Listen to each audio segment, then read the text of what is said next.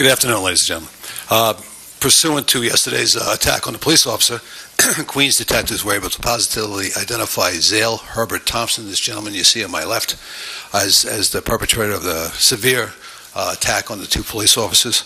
Um, During that uh, assault, this blue hatchet uh, tool was, was recovered from his person. He was still hanging onto it uh, when, when he was declared, um, pronounced uh, DOA at the scene.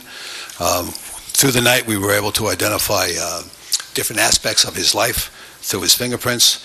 We found out that he had six prior arrests in Oxnard, California in 2003 and 2004, mostly for a domestic history. He has no New York arrests thus far that we've been able to find. His only NYPD conduct, uh, contact was when he was a victim of assault back in 1998 when he was 16 years old.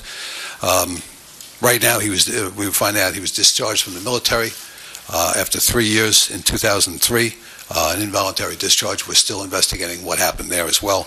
Um, preliminarily, they tell us it was a part of drugs, that he may have been under the influence of drugs there. Uh, we did two search warrants on the overnight, uh, one at his, at his residence. Uh, we were able to speak to family members. The other one at, at his mother's residence, both in Queens and nearby where the attack took, occurred. Uh, we found that was, he was a convert to Islam approximately two years ago. Um, he is be described by family members as a recluse, and by his other family members that he was depressed lately.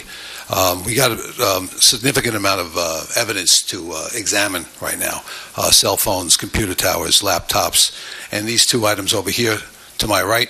You'll see this recovered uh, from his residence. It's a weaponized axe uh, with both sides as a, tool, as, a, as a weapon and also a very large hunting knife as well. Um, this is where we stand right now in the investigation. Uh, we were able to go up on his uh, social media sites as well and found some uh, anti-government uh, postings. Uh, we're examining that stuff, those that material right now. It's ongoing. My detectives are going through the computers to find other evidence as well. Um, and that's what I have right now. Uh, we would encourage anybody who knows this individual to contact the police immediately, help us our investigation. But that's where we stand right now. We have not uncovered any um, affiliations with any particular one person or one group as of right now.